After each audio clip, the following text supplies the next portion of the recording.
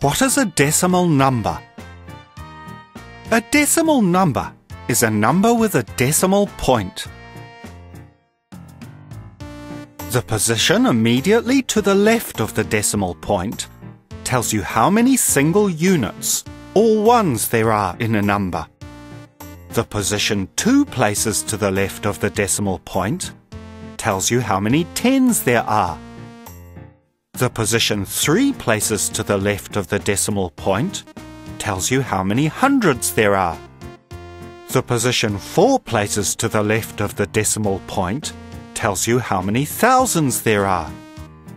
After that come the ten thousands, the hundred thousands, and then the millions.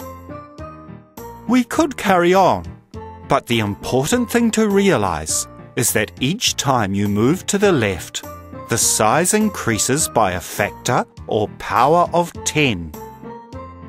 If you have a number and move it a place to the left, this means it gets 10 times bigger. So 70 is 10 times bigger than 7. 700 is 10 times bigger than 70.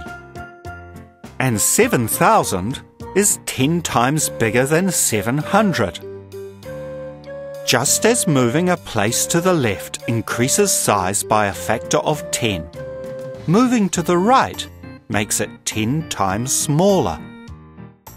The position immediately to the right of the decimal point tells you how many tenths of one there are in a number.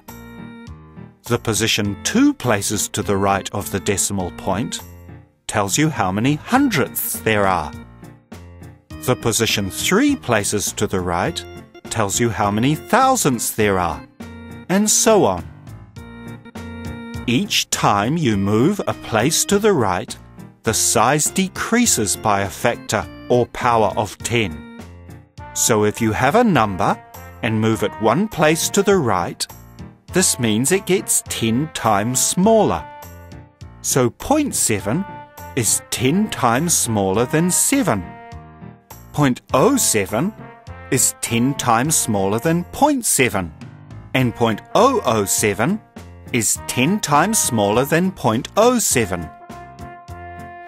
The number to the left of the decimal point is a whole number.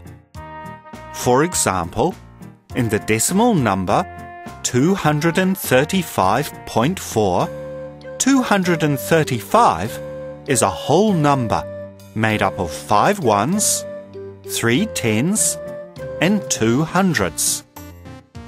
The number to the right of the decimal point is a fraction. By point four, we mean four tenths. So you can think of decimal numbers as being mixed fractions, with the whole number to the left of the decimal point and the fraction to the right of the decimal point.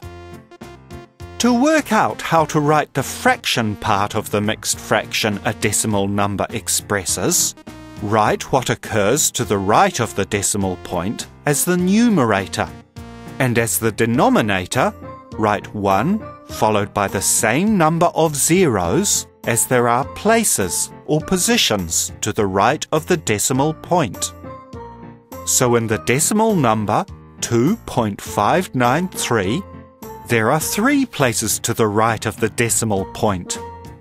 So the mixed fraction is 2 and 593 thousandths, where the denominator shows 1 followed by three zeros.